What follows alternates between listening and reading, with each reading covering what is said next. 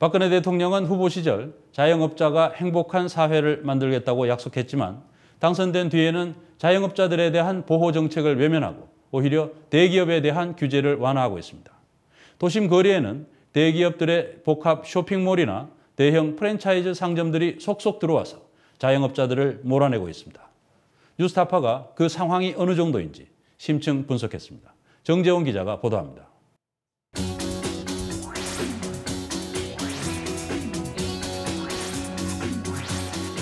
지하철 홍대 입구역과 바로 이어진 한 영화관. 소비자들은 4층에서 영화를 보고 2, 3층에서 식사를 한 뒤 자연스럽게 아래층 신발 매장과 그 아래 생활용품 매장에서 쇼핑을 합니다.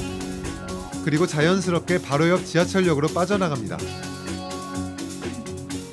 재계 30위권의 한 그룹이 2년 전 이 건물을 사들인 뒤 자신들이 운영하는 대표적인 음식업과 쇼핑 매장들을 한 곳에 모아 만든 이른바 복합 쇼핑몰입니다. 건물 안에서 모든 것을 해결할 수 있어 쇼핑객들은 편해졌지만 주변 상인들의 한숨은 늘었습니다. 생기고 나서 매출 타격이 거의 뭐 천 단위로 열차도 이렇게 확 줄었다고 얘기를 하시더라고요. 저 건물만 딱 특혜를 보는 거죠. 아무래도 그 안에 모든 게 다 있으니까. 주변 거리로 나와도 상황은 비슷합니다. 이곳은 서울에서 가장 이동 인구가 많은 곳 가운데 하나로 꼽히는 홍대 걷고 싶은 거리 입구입니다. 최근 2년 사이 대기업이 수입한 옷과 신발을 파는 매장들이 양쪽에 자리를 잡았습니다.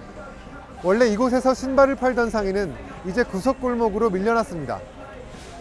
개발 자리를 하고 있다가 저희가 이제 거기 이제 건물 쪽에서 올려라 해가지고 안 맞아가지고 이쪽으로 온 건데 결국 대기업이 지역 상권을 침투하면서 임대료가 올랐고 임대료가 오르니 일반 자영업자들은 밀려났다는 말입니다. 근처에서 신발을 파는 또 다른 상인도 비슷한 얘기를 합니다. 다 올리죠. 이 사람들도 올려가는데 나 자기네들도 나 같아도 내가 건물 갖고 있으면 필리핀 얼마 받는데 그럼 똑같이 올리려고 하는. 건물주들 입장에서는 세련된 인테리어로 건물을 살려주고 임대료도 안정적으로 많이 주는 대기업 상점들을 좋아할 수밖에 없습니다. 그러나 임차 상인들로서는 죽을 맛입니다. 죽자는 거지. 니네 죽어봐라지. 니네하고 우리하고 게임이 안 돼 이거잖아. 도대체 얼마나 많은 대기업이 지역 상권에 침투해 있는 것일까? 뉴스타파 취재진이 이곳 홍대 상권을 표본 삼아 체계적으로 분석해 본 결과 90% 이상의 상가들이 5개 업종에 집중돼 있었고 그 가운데 유흥 주점업을 제외한 나머지 4개 업종 모두에 대기업과 프랜차이즈 상점들이 대거 진출해 있었습니다. 대기업 계열 매장은 홍대 상권 전역에 걸쳐 164개가 있었고 그 가운데는 롯데리아, 엔젤리너스 커피 등을 보유한 롯데 계열이 36개로 가장 많았습니다. 지도에서처럼 대기업과 대형 프랜차이즈 상점들의 밀도가 높다는 것은 그만큼 중소자영업자들이 심각한 경쟁 상황에 놓여 있다는 것을 의미합니다. 김명원 씨의 신발 가게 반경 200m 안에서도 최근 2년 사이 대기업이 판매하는 대형 신발 매장 3곳이 들어왔습니다. 이상이 떨어졌어요. 아, 50% 이상이요? 그렇죠. 예. 그래서 접고 다시 시작하고 다시 새로 리모델링 해도 떨어지는데 그러니까 저희 입장에서 많이 손해죠. 소상공인이라고 상생할 수 있는 어, 터전을 마련하겠다. 말들은 그렇게 해요. 근데 절대 그러지 않거든요. 일단 들어서게 되면 영리 추가하다 부분은 뭐 일단 내가 살아야 되기 때문에 이거 자영업자 다 죽고요. 기본적으로 살아갈 수 있을 것 같으니까 다 죽게 됩니다. 같이 죽게 공멸하게 되는 거거든요. 하지만 돈이 될 만한 상권에 진출한 대기업을 막을 수단은 사실상 전무합니다. 홍대에서 20분 거리 고층 빌딩이 즐비한 상암 DMC의 2만 6천 제곱미터가 넘는 거대한 부지에도 롯데의 복합 쇼핑몰이 들어설 예정입니다. 백화점, 대형마트, 식당가, 영화관까지 모인 대규모 쇼핑몰이 들어선다면 인근 시장 상인들의 매출이 떨어질 것은 불보듯 뻔한 상황입니다. 2004년도에 그 상암동에 이제 까르푸가 들어오면서 대형마트가 하나 들어올 때 어떤 상황이 발생이 됐는지에 대해서 저희가 경험을 한 바가 있는데 그때 그 이 지역의 시장 4개가 없어지는 어떤 상황을 경험을 했어요. 근데 사실 지금 이 복합 쇼핑몰이라는 것은 대형마트의 한 20배 정도의 크기이기 때문에 복합 쇼핑몰은 주변 상권을 말 그대로 초토화시켰습니다.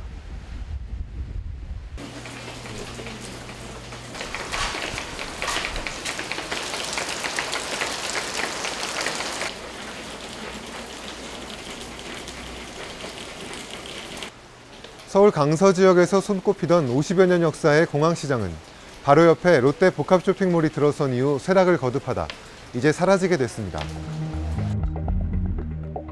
롯데 쇼핑몰이 들어선 이후 불과 5년 만에 시장은 텅 비었습니다.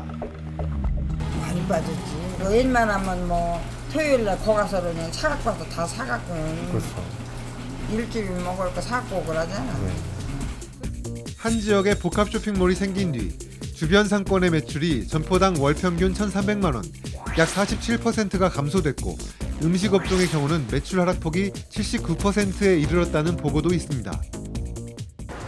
이렇게 대기업들이 무분별하게 지역 상권에 침투하면서 중소상인들의 생존이 위협받고 있지만 정부는 강 건너 불구경입니다.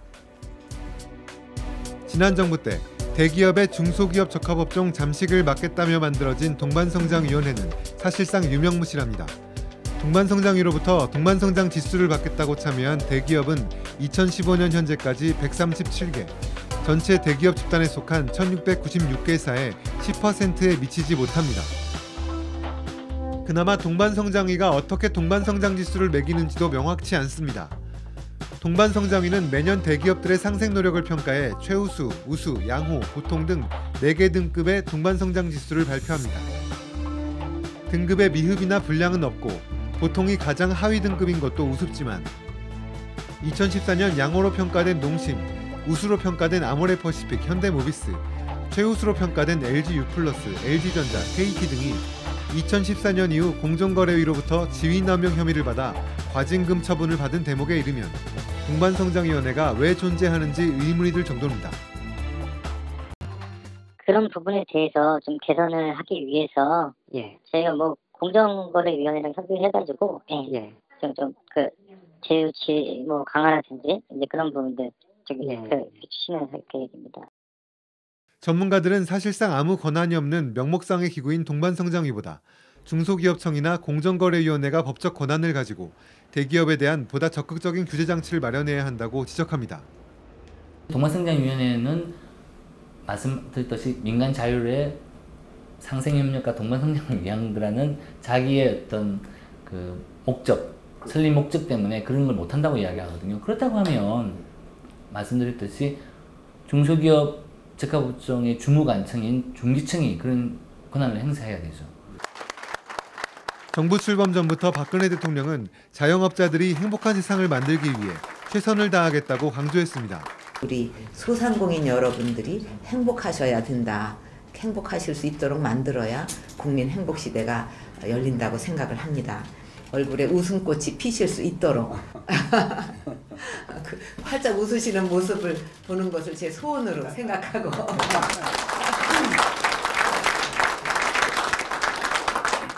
그러나 야당 의원들이 골목 상권을 노리는 대기업을 통제할 수 있도록 중소기업청의 권한을 강화하는 법안을 발의하면 여당은 이런저런 핑계를 들며 거부해 왔다고 야당 의원들은 말합니다. 실질적으로는 재벌 대기업의 이해에 사실은 포섭되거나 그, 그 저항, 그 압력들을 정부 여당이 많이 의식을 하고 있기 때문이라고 보여지는 거죠. 정부 내 관련 부처인 중소기업청도 민간이 자율적으로 상생 방안을 만들어 나가야 한다는 취지에서 중소상공인 보호 법안에 반대 의사를 밝혔다고 말했습니다. 민간 자율 영역으로 이제 그 상생안을 만들고 네. 그런 분위기를 이제 만들어낸다 뭐 그런 의미잖아요.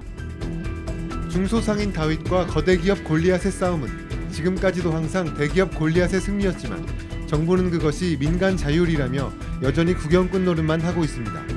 그 사이 중소상인들의 설 자리는 점점 사라지고 있습니다. 뉴스타파 정전입니다.